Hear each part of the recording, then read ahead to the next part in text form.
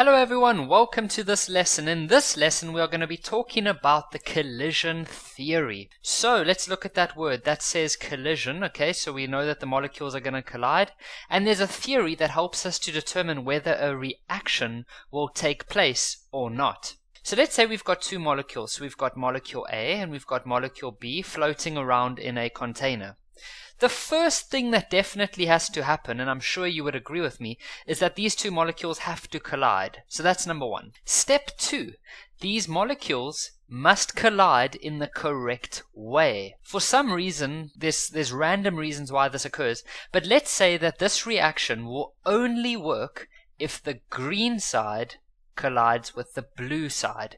If the pink and the red bump into each other, nothing happens. They're just going to move apart. And so the molecules must collide in the correct orientation. Orientation means the way that they're facing. Okay, so they must have the correct orientation. And then the last and the most important thing that we need is that these molecules must have enough energy. Why?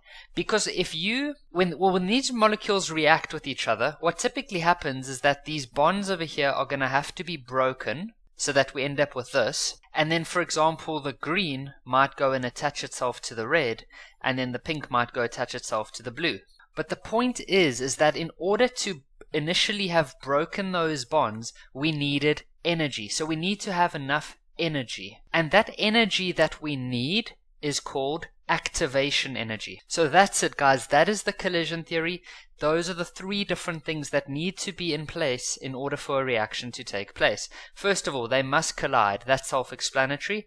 They must collide in the correct way. Okay, they must collide in the correct they must be facing the correct way and then they also have to have enough energy and that's called energy of activation